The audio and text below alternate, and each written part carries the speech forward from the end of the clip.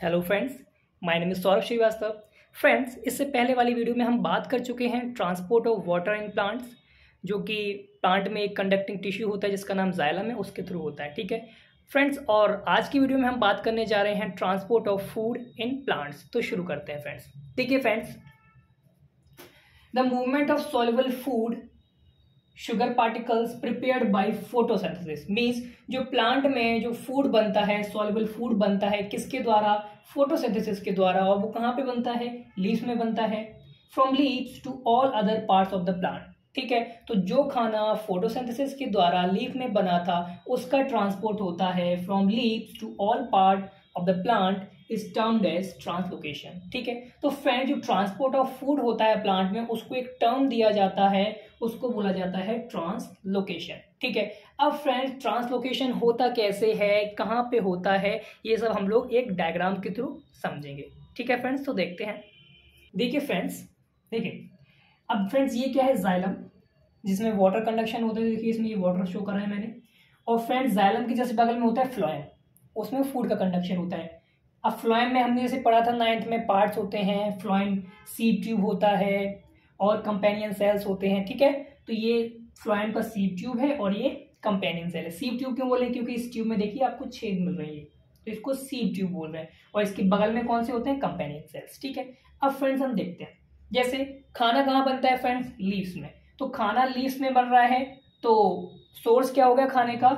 Leave अब friend source से क्या होता है? सोर्स से जो खाना है सोर्स से खाना सबसे पहले कहाँ पे आएगा? कंपेनियन सेल में आएगा। ठीक है? फिर कंपेनियन सेल इस खाने को लोड करा देंगी। कहाँ पे? फ्लोएम के सीप ट्यूब में। अब फ्रेंड जैसे ही ये जो फ़ूड है, ये फ़ूड क्या है? शुगर पार्टिकल्स हैं। तो शुगर पार्टिकल जैसे ही इस ट्यूब ट्यूब में आएँगे तो क्या होगा? यहाँ का ऑस्मोटिक प्रेशर बढ़ जाएगा। तो इस ऑस्मोटिक प्रेशर को बैलेंस करने के लिए जाइलम जस्ट बगल में क्या है? जाइलम वहाँ पे क्या है? वाटर तो वाटर भी यहाँ से यहाँ पे मूव करता है। वाटर यहाँ से यहाँ मूव करेगा। यहाँ पे क्या एच टू तो वाटर भी यहाँ से यहाँ मूव करेगा। अब क्या हो गया? वाटर भी यहाँ आ गया। तो ये जो शुगर पार्टिकल्स है, ये जो फ़ूड है वाटर में मिलके क्या होगा? ये ऐसे सीप ट्यूब में नीचे की तरफ़ मूव करेंगे।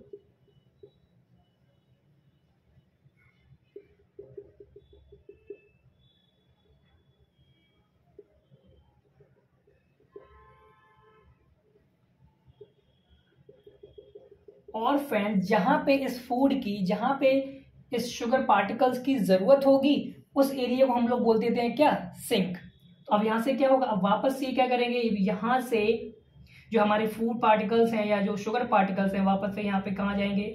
कंपेनियन सेल में जाएँगे। और कंपेनियन सेल क्या कराएगा? इस खाने की अनलोडिंग करा देगा कहाँ पे? सिंक में।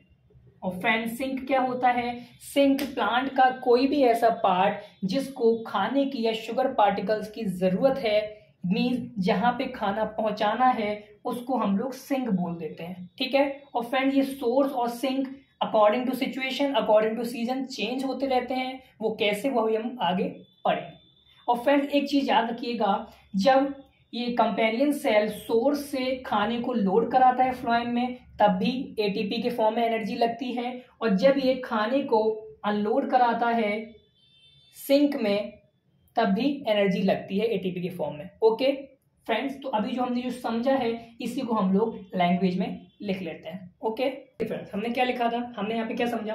Translocation of food take place in sieve tube देखिए सीप ट्यूब में हो रहा है ट्रांसलोकेशन किसकी हेल्प से हो रहा है? With the help of companion cells okay फिर देखिए दिस प्रोसेस यूटिलाइज एनर्जी ये जो प्रोसेस हो रही है, यहाँ पे लोडिंग हो रही है, फिर यहाँ पे अनलोडिंग हो रही है, इस प्रोसेस में क्या लगती है? एटीपी लगती है. अनलाइक ट्रांसपोर्टेशन ऑफ़ वाटर जैसा कि हमने ट्रांसपोर्टेशन ऑफ़ वाटर में पढ़ा था, वहाँ पे कोई एनर्जी नहीं लगती है बट इस प्रोसेस में फ़ूड के ट्रांसफ़र में फ़ूड के ट्रांसपोर्टेशन में एनर्जी लगती है। ओके फिर क्या है फ्रेंड देखिए मटेरियल लाइक सुक्रोज अब यहाँ पे जो खाना बनता है लीफ में, वो सुक्रोज बनता है, ठीक है? तो material like sucrose transferred into sieve tube देखिए यहाँ से ट्रांसफ़र हो गई सीप ट्यूब में। फ्रॉम लीफ लीफ से यहाँ पे ट्रांसफ़र हो जाते हैं। This cause to increase the osmotic pressure in sieve tube अब इससे क्या होगा जब यहाँ से शुगर यहाँ पे आएगी तो इसका ऑस्मोटिक प्रेशर बढ़ जाएगा। अब इस ऑस्मोटिक प्रेशर को बैलेंस करने के लिए इस ऑस्मोटिक प्रेशर ज़्यादा है ना तो यहाँ पे क्या होगा? यहाँ से वाटर यहाँ पे मूव कर जाएगा। तो वही लिखा है इनकी osmotic pressure in sieve tube causing water to move in it और वाटर इसमें आके मूव कर जाएगा। अब क्या होगा? This process move the this pressure this pressure move the material in the phloem to tissue which have less power less pressure अब देखिए, यहाँ पे प्रेशर ज़्यादा है वाटर यहाँ पे आ गया। अब वाटर में घुल के ये शुगर सी अब इसमें फ्लोएम में मूव करेगी और कहाँ पे मूव करेगी? जहाँ पे लेस प्रेशर अब यहाँ पे हाई प्रेशर है, यहाँ पे ऑस्मोटिक प्रेशर ज़्यादा है। तो यहाँ पे ऑस्मोटिक प्रेशर ज़्यादा है तो यहाँ से मूव करेगी जहाँ पे ऑस्मोटिक प्रेशर कम होगा। ठीक है? तो यहाँ पे ज़्यादा था और यहाँ से यहाँ पे मूव कर गई। और यहाँ, अब सिंक में क्या है? सिंक में खाने की ज़रूरत होती है। ज़रूरत है मीन्स यहाँ पे खाने की कमी है। तो यहाँ से यहाँ ट्रांसफ़र हो जाता है। वही लिखा है this pressure move the material ये प्रेशर मूव कराता है मटेरियल को इन फ्लोएम टू टिश्यू कहाँ पे? उस टिश्यू के लिए विच हैव लेस प्रेशर उस टिश्यू के लिए मूव कराता है जहाँ पे प्रेशर कम है। ओके okay, फ्रेंड्स एक बहुत इंपॉर्टेंट बात है देखिए। This allows phloem to move material according to plant need अब ये जो यहाँ पे प्रेशर होता है ये क्या करता है? ये जो मटेरियल है उसको मूव कराता है according to need of plant मतलब जहाँ पे जिस हिस्से में इस फ़ूड की, इस मटेरियल की ज़रूरत होगी, वहाँ पे मूव कराता है। ठीक, इसका एग्जांपल देखते हैं जैसे।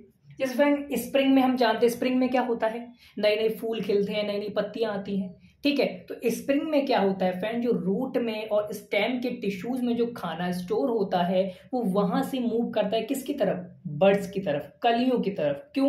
क्योंकि कलियों को बड़ा होने के लिए ग्रो करने के लिए क्या चाहिए? एनर्जी चाहिए। ठीक है? तो वही देखिए हमने लिखा है। In the spring sugar store in root और stem tissue would be transported to the bird bud के लिए ट्रांसपोर्ट हो जाती है which need energy to grow क्योंकि उनको ग्रो करने के लिए एनर्जी चाहिए। Okay friends thank you